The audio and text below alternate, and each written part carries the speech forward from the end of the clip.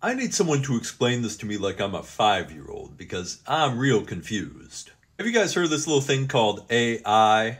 Because I keep hearing that AI is going to take all our jobs, and that's a big problem. Because we also have a second problem, which is the complete disaster that is our industrial factory food system. Because scientists agree it's the number one driver of a lot of our problems deforestation, mass extinctions, ocean dead zones, climate change, chronic health problems depletion of our aquifers, depletion of our soil resource. It's killing our small towns and rural areas and leaving food deserts in our cities.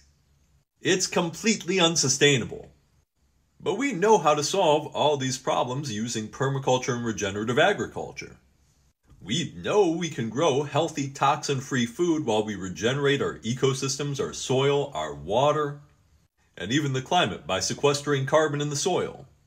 But the experts say there's one huge problem with this solution, which is that we can't do it by just having one guy in a giant fossil fueled tractor driving around thousands of acres. We can't do it, they say, because it requires more hands, smaller farms, and a more localized food system. We'd actually have to revive our small towns and rural areas.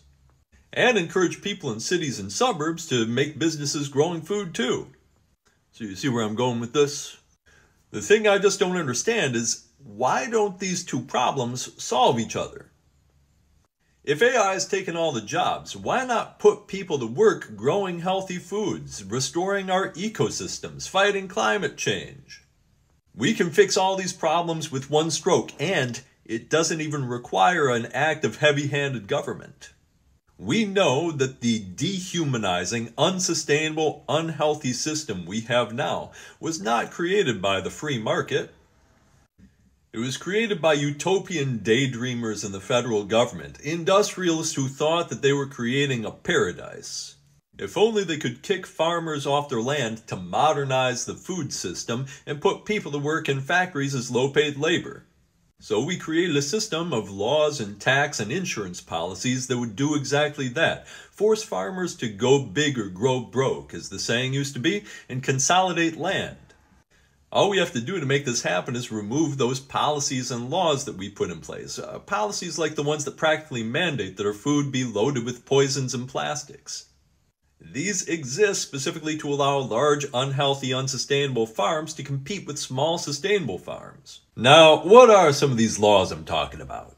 The first laws of these kinds were laws that threw tax dollars at insurance and finance schemes.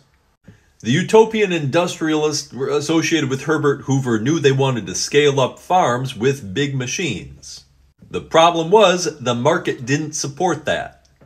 The land opportunities in big machines already existed and the market wasn't making that happen. So they created a system of government backed loans, and this allowed the right people to own that land, putting the wrong people, poor farmers, out of business and kicking them off their land.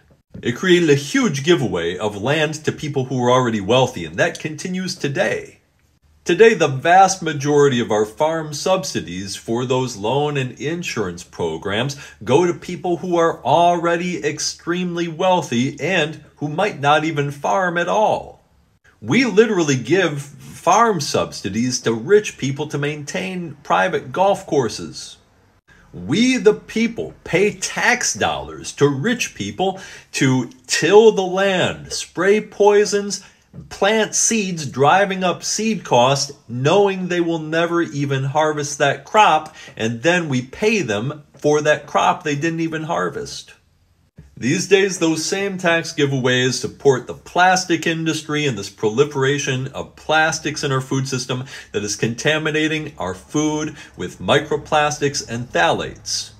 Small and organic farmers who care about the land have had to adopt those same technologies, knowing that they're bad for the land, contaminate the soil, and contaminate our food and our bodies. Because of these laws, they can't compete if they don't. And there was a lot made of the GAP laws, good agricultural practice laws, that were passed in various food safety and modernization acts, as being things that specifically uh, they were created with agribusiness in the rooms. They were written; these are laws written by agribusinesses to require their chemical and plastic products. And there was a lot of talk that people knew these laws would harm small farmers, and they have, driving up land consolidation even more. A lot of these good agricultural practices encourage farmers to make food that is less healthy, less safe, destroys land, and is uh, inhumane to animals. But they're great for corporate profits and land consolidation. This seems like something that people on the left and the right should all agree on. Here we have a chance to solve a bunch of social and environmental and health problems, not by throwing tax dollars at it, but by actually doing the opposite. Just stop throwing tax dollars to fuel all these problems and they'll go away. Now, some people say that these policies help farmers, and if you take them away, then you're hurting farmers, but that's malarkey.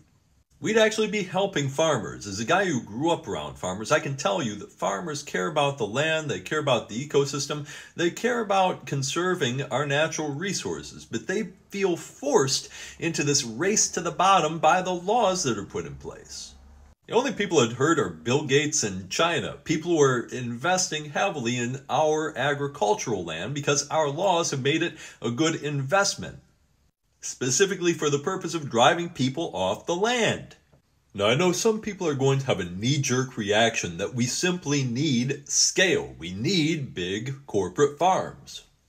But the whole argument for large farms was labor efficiency, that we could get one person to manage thousands of acres which allows for diversification of labor in a more complex, robust economy. And I agree with that. I have to admit, it did give us the most advanced industrial economy in the world. I'm making a video on this device here today because of those kinds of policies and the fact that we exported them around the world in the Green Revolution. But now that we're talking about AI taking all the jobs and we have robotics and we have a globalized labor system where people in the United States are competing with people in Africa and Southeast Asia for jobs, descaling farms and relocalizing the economy just seems like a no-brainer. And guys, this isn't just focused in on income. This is real wealth building. This would be a way to encourage real Americans to start actual businesses, meaningful businesses, doing meaningful work that cares for the earth, cares for ecosystems, preserves our biodiversity, makes healthy food for people in our own communities. This is not just a job, it's a great livelihood that builds wealth generationally, encouraging Americans to actually own our own land and our own homes instead of foreign investors owning it. And it just solves a huge number of problems that otherwise we just have to throw more tax dollars at. You guys tell me, am I wrong about this?